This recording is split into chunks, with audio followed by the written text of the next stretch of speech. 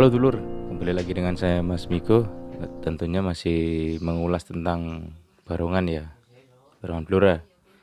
Dan kali ini aku tidak ke eh, nggak ke pengrajin atau grup barongan gitu, tapi aku ke salah satu pemain teman-teman.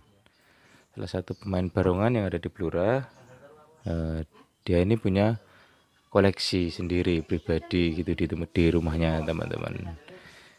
Nanti biar lebih jelasnya bagaimana, biar beliau sendiri yang menjelaskan koleksinya ini teman-teman. Oke, sekarang kita kenalkan ini dia.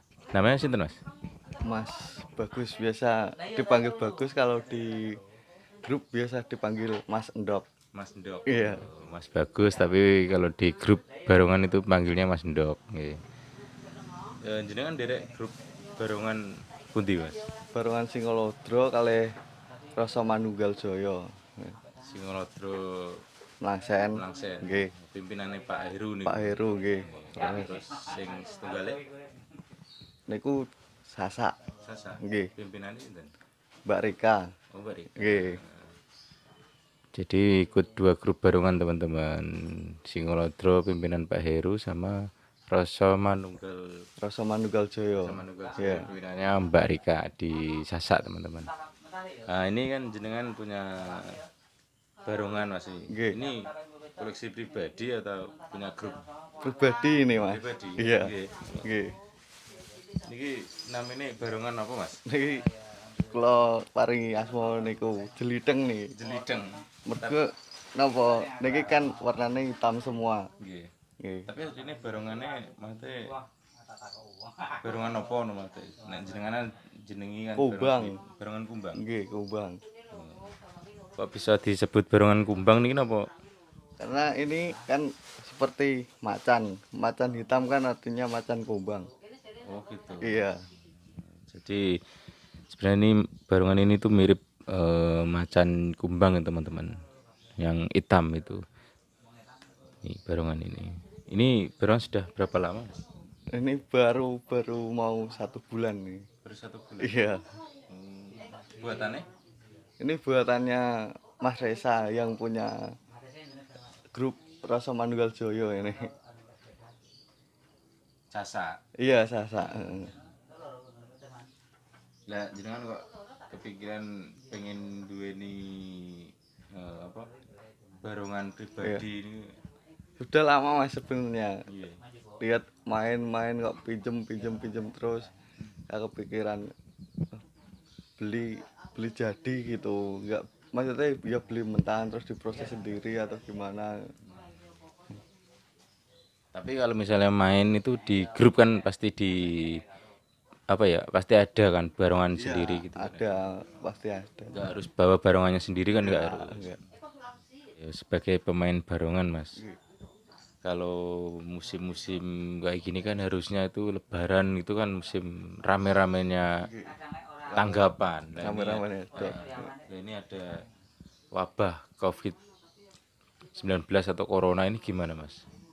Ya tanggapan ya sepi gini ya mau ngapain lagi ya. Kalau kes- kesibukan nggak ada tanggapan kayak gini apa? Sibukannya ya jemur ini terus bersih-bersihin terus mepe ini kamu iya rawat Misalnya tanggapan itu di luar dari grup itu jenengan pripun mas? Tetap derek apa tetap melu apa betul? ya kalau saya dipanggil ayo sini ikut main. Saya ya ikut. Kalau enggak ya enggak jadi penonton aja gitu. Berarti nggak nggak apa ya nggak harus ikut dua grup itu ya? Misalnya grup lain butuhin juga ada masalah. ya enggak masalah enggak apa-apa Jadi setit kasarannya kan bisa ikut sana, bisa ikut, ikut sini gitu, nggak harus ikut satu atau dua grup gitu ya. Nah ini apa ya tanggapan sepi. Harusnya kan ini bulan-bulan rame tanggapan. Ini mungkin ada pesan-pesan nggak mas kangge konco-konco seni sing teng Bluro khususnya. Nggih, pesen-pesene kula nggih tetep lah tarik barongan nggih masih ojo sepi dilanda corona nggih barengane mboten dilaleke ngoten lho. tetap berkarya Nggih, tetep berkarya. bahannya kayu nopo nih mas Kayu dadap, Mas. itu ada Nggih. lulang ini Niki saking bludru boneka.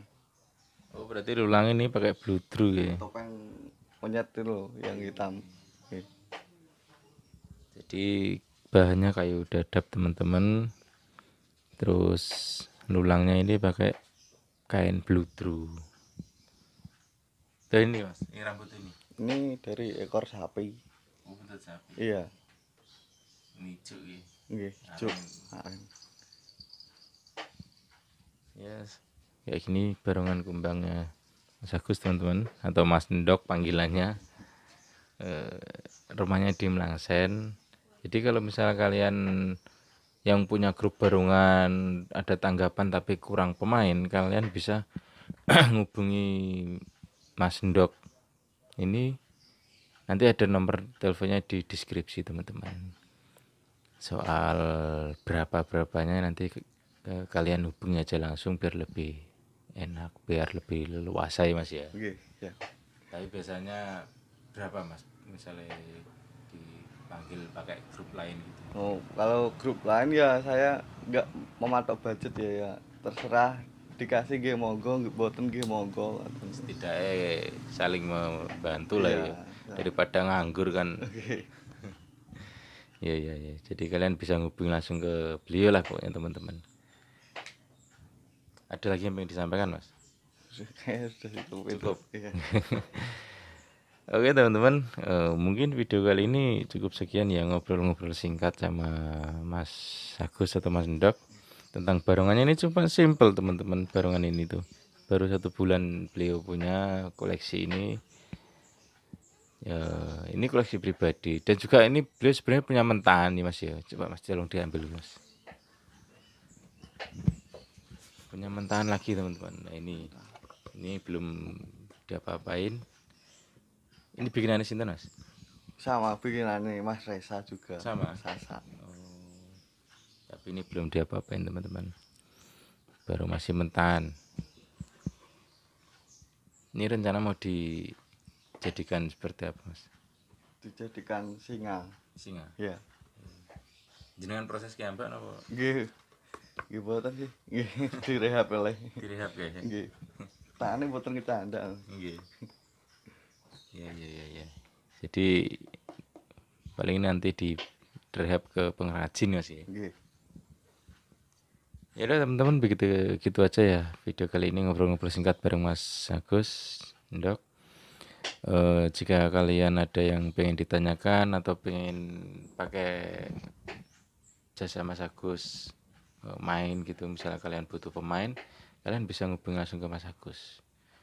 Mungkin kalian ada tetangga atau saudara atau bahkan kalian sendiri yang punya barongan di rumah, koleksi atau grup atau kalian juga pengrajin di rumah. Pengen kami datangin tim kami datangin ngobrol-ngobrol bareng santai kalian bisa ngubungi nomor saya di deskripsi teman-teman nanti kita ngobrol-ngobrol santai bahas tentang barongan. Sebenarnya nggak barongan aja teman-teman. Sebenarnya banyak budaya di Blora itu. Tapi ini sementara ini ke barongan dulu supaya pengrajin barongan supaya pemain barongan grup barongan dikenal lagi di Indonesia teman-teman. Sekian dari saya. Eh, terima kasih Mas G Iya, atas waktunya Mas. Iya. sekian dari saya salam budaya dari Mas Miko. Bye bye